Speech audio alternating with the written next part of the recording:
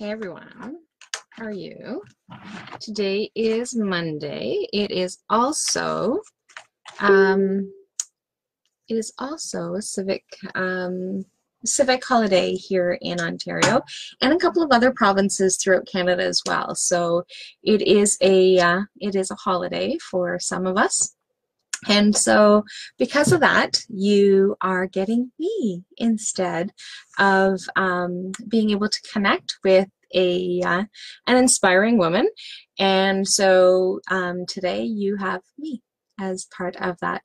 So I am Rollie Allaire and um, my um, so Bridging the Gap Wellness is all about um, being able to create a holistic wellness and finding balance.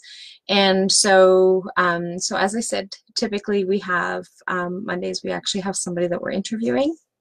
And today we have, um, I, because of the holiday, I didn't have anybody scheduled for being interviewed, but I thought that I would still hop on.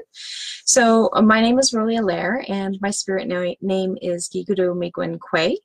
And that means talking feather woman. And so I'm a holistic trauma coach and a spirit flame keeper and a soul healer. And so I work with women who have experienced trauma, um, childhood trauma or domestic violence or, um, or grief, um, sexual trauma, and who've actually lost um, parts of their soul and help them achieve wellness. Hi, Brittany and um, and success. And so I worked um, extensively with uh, in psychotherapy for a number of years, and so now I um, I do this, and this is my full time, and I actually incorporate my um, my years of psychotherapy with um, energy work, and so that is what it is that I do. And so today I actually wanted to hop on and talk about wellness. And so um, the um, the WHO, the World Health Organization, defines wellness as a state of complete physical, mental, and social well-being and not, mere, not merely the absence of disease or infirmity. So that encompasses a lot of things, and we've been hearing this, this word of um, wellness that's been floating around for some time.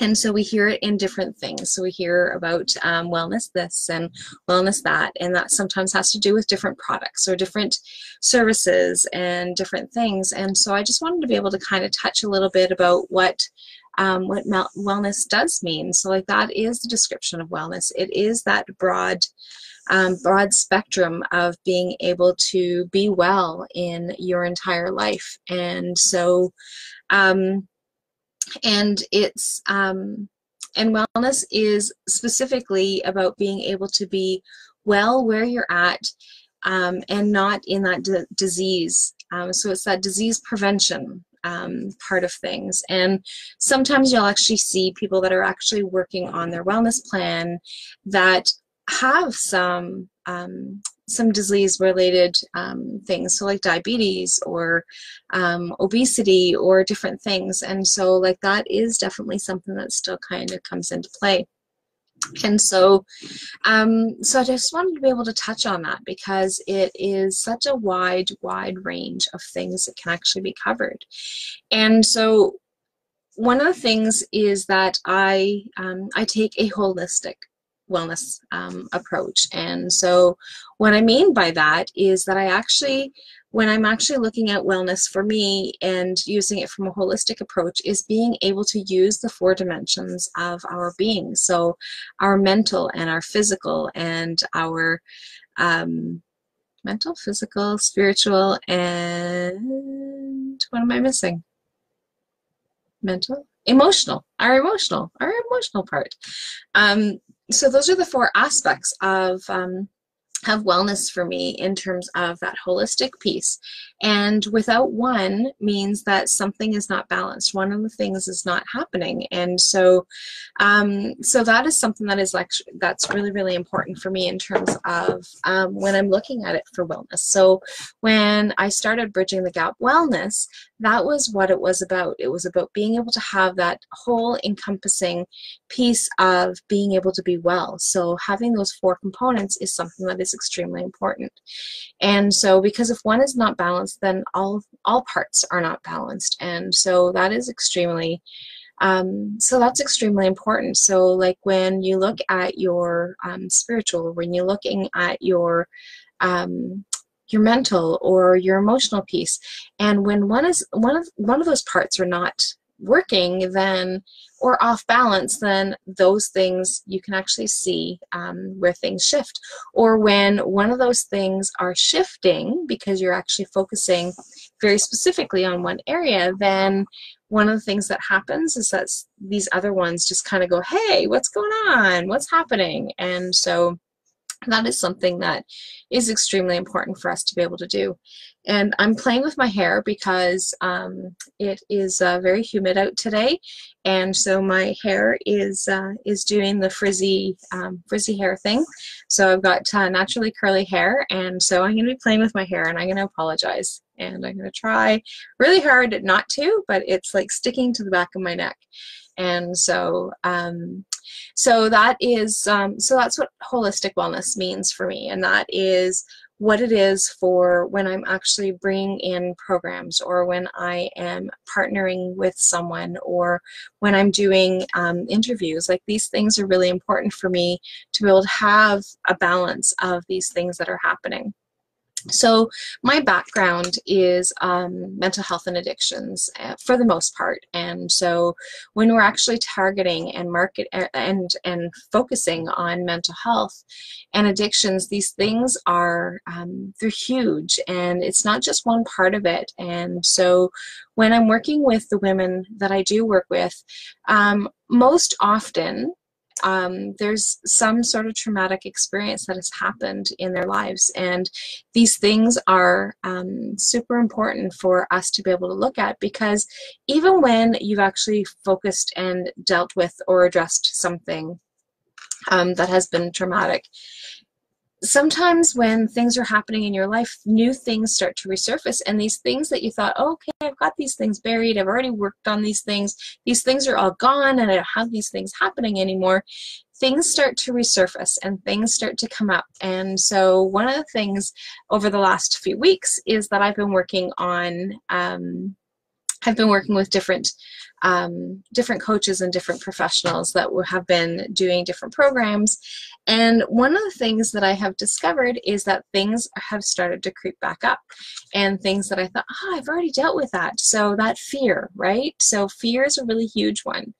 And fear of being seen and uh, fear of being known, fear of um, being able to connect. And so um, when I'm in a group, when I'm doing the things that I need to be doing, then all that is great. And I don't have, um, and none of those things happen, right? So hopping on today to do this live, even though I've done lives and I come on um, and do these things, is that piece of like, oh, wow, okay, so today I'm coming on live by myself after having come on live with some glitches. We've had some glitches with the system, and so next week with uh, with Tiffany, I'm really looking forward to having things run a little bit more smoothly. But like that is part of the um, that is part of the process, right? So I am very very type A, and so I like things to be able to go exactly the way that they're supposed to, and that doesn't always happen. And we've seen that over the last couple weeks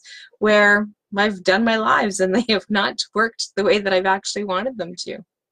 And so, um, so one of the things that has come up for me in this past week is being able to tap into some of those things that I thought that I had resolved, some of those things that I, and it's not that I didn't have them resolved, but as I'm expanding and as I'm growing and as I'm shifting, things start to creep back up into the, uh, out of the woodwork. And so being able to be mindful of that and understanding that. And so, um, earlier this week, and I, if you follow my page, then you will have seen the the couple of posts that I've actually done the before and after um, posts.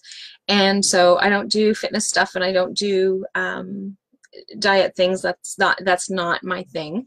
Um, but one of the things that I have shared is that I was actually on a journey five years ago of, and it was started before that, but like when I actually tracked in this particular case, it was six months of before and after from January till July. And I was doing um, somewhat of an eating plan and somewhat of an exercise plan and doing these different things. And so I had actually lost two pant sizes and it felt good and I had achieved it. And when I actually looked at the comparison, it was like, wow, this is amazing. And so um, so one of the things that I've started is um, being able to get back on this journey. So starting this morning was the, my first day back on my journey of using this particular program and this particular, um, following this particular meal plan. And so for those of you who do know me, being able to um, eat is a challenge. And so I have a lot of food issues, food aversion issues. And so finding things that I can eat, that I like to eat, that um, texture, or that text, uh, texture or um, different things that are actually going on, um, that they actually blend and that they work for me. So I really have to modify any kind of meal plan. So it doesn't matter who puts me on a meal plan or what meal plan that I decide to follow. I don't do shakes. So um, so going onto a meal program that um, requires me to be able to do shakes like that just doesn't work for me. I don't do shakes. I don't drink milk products.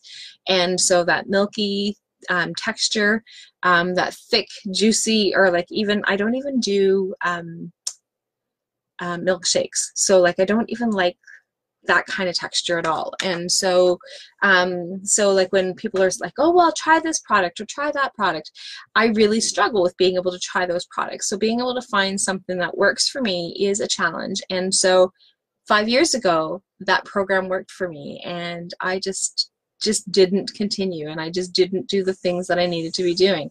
And so I've, inst- I've extended an invite to any woman who actually wants to join me. Um, in a um, in a private group that um, and we will actually connect at 6 a.m. Eastern every morning where I will share the program that I've already purchased. So I will um, so we're actually working out together using this particular program if people are interested and it's not um, it's not something um, it's not something that I'm selling or that um, you have to invest in. It's just your time if you're interested and if you actually want to be able to be part of that. And that is something that I've actually put on because, and I did that for me. So I did that because I would like to be able to have that um, that buddy system. I would like to be able to. So when somebody had actually piped up and said, "Hey, I'd like to be able to join you on that journey," it was like, "Oh, fantastic! That is amazing!" And I'd love to be able to do that. And so I have a few women that are actually interested, and whether they actually join me or not. Um, on this journey, I have no idea, but this is something that I am doing.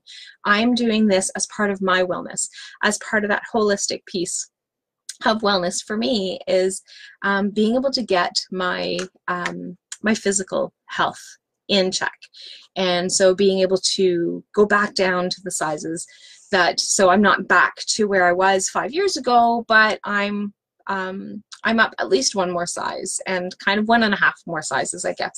So not entirely back to where i was five years ago but being able to do these things um, is important for ourselves and for our self-esteem and our self-esteem taps into our emotions. And um, and so it also taps into um, our thoughts of like all these different things that are actually going on. So like I said, one of the things that I've actually discovered this week is that some of these things have actually kind of crept back up again. And part of that has to do with okay, so I'm talking about wellness and I'm talking about this whole um, holistic approach. And I've used the excuse, oh, well, I've injured my back last year. And a couple years ago, before that, I actually had injured my um, my foot. And then a couple, and then the year before that, I had actually injured my thigh, my um, my shins. And so walking was painful. So like all these different that I had going on physically that I used as excuses. I could have tried to figure out a different way, but it wasn't a priority for me. And so things just kind of get lapsed. And um, sometimes I would actually eat um, properly and eat clean, and sometimes I wouldn't. And sometimes I'd actually try different products, and sometimes I wouldn't, and not really stay committed to anything. And so, and so now here I am. So five years later, this memory comes back up and says, "Hey," and it kind of smacks you in the face, right? So Facebook's awesome that way in terms of um, of the memory shares, right? So being able to share and um, put out those memories of the things that we're actually doing. And so, um, so that's where things are at with me, and that's what it is that I wanted to be able to share with respect to wellness and um, and holistic wellness and what that meant for me and being able to tap into some of these things. And so, um, so with that said, some of the things that I've been doing and that I honor and that I enjoy and love being able to do is um, hosting my women's circles. And these women's circles are um, really important to me. So I have locally, I have my inner goddess circle, and that is amazing. And I have a wonderful group of women that participate. Hi, Rochelle. And so um, and it is it's really important and i'm glad that you agree with that. So the um, and being able to connect with other women is something that is really really important to me which is why my my local inner goddess circle is brings that connection and we actually um, we support each other and we um, connect with each other and um, and our circle is um, and grows based on our needs. So if something needs to shift or something needs to happen then we just kind of go with the flow and um, which is really great. And so we have um, some older women we have some middle-aged women and we have some younger women that kind of come and go depending on what it is that we need and um, and who needs. And so I have my my core group of women that come through the membership which I am uh, which I absolutely love. And so last week I didn't get to do my circle because I wasn't well. And so and I wasn't well um, there was a bug going around likely and but also because I was at wasn't actually tuning in to where I was at and I also did some energy work on myself over this last week and so with the energy work also comes shifts in patterns and so these things happened and so I wasn't able to to be there and be part of it and so um, the other thing that I have is my online um, Grandmother Moon Circle. And so we actually work with the energy of Grandmother Moon and we do the teachings around Grandmother Moon and we connect with each other. And so, and I love that. Um, that being able to connect and so ancestrally through uh, with being Métis, I've learned a lot about being connected to the moon and the energy cycles of the moon. And so one of the things that um, that I've been able to learn as well is like how our energy shifts, right? So um, traditionally, one of the things that I've always focused on is the full moon, and so then, I, then I started shifting and then learning more about the new moon, and so I would focus on the new moon and the full moon, and so now I actually go through the full cycle. So there's eight phases of the moon, and so within those eight phases, being able to shift and change and and trend, and so so that's one of the other circles that I actually have and host and um, really enjoy being able to do that. And that's a virtual circle. And so, um, as part of my inner goddess circle, one of the other things that we do is a full moon circle around the fire. Um, except for that, right now we can't have fires. So, um, but that will come back up again. So when we can actually dance around the fire again, um, but we still have our circle. So we still had our circle last week, uh, and we still sat in circle, and we just didn't do our um, we just didn't do the fire part of our circle, but we just adjust and we we do the other pieces that we can actually do. And so um, the other thing that um, so quarterly, one of the things that I have is that, um, and I've just recently shared this information because the next circle is coming up uh, September 9th um, at 11 a.m., which is a Sunday. And so um, it's called the Healing Cir uh, Journey. Healing Journey Circle. And so our focus is on the mind. So being able to tap into that mental aspect of those four components that I was actually talking about. And so we're actually going to be focusing on um, our thoughts and how they play a role in our um, our well-being and that kind of thing. And so um, we're going to be able to connect with ourselves within ourselves about those thoughts and how those thoughts actually um, interfere not interfere wrong, wrong word. So well actually sometimes it can interfere so that they actually interact with our own um, with our own selves. And um, and making space for unconditional love. So like that is their focus during that actual circle time. And so that is a quarterly circle that um, that I bring together. And so with each one of the seasons, and it is connected to the energy of the new moon and so that is um, so that's one of the other ways of being able to create that balance of being able to work with the seasons the cycle of the full moon and being able to um, to connect with our own cycles. And so with that i also have um, the um, and these are these are the, our group these are our group component things that i have going on. And so and i also work with women individually who um, are able to connect within their themselves. And so um, that may or may not want to be part of the um, one of the circles, but we actually get to do things on their own and we actually get to explore the things that are actually going on for them and what's happening and what's coming up. And some of the women that I actually work one-on-one with are also women that I actually work uh, or that are actually part of my circles.